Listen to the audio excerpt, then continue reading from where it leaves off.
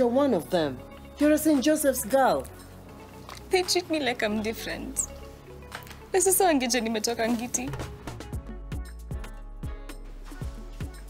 Hey, students, put that phone away. Jeez, Neema. Acha kuwa jealous. I can have other friends. We were supposed to have rehearsals, but you were busy.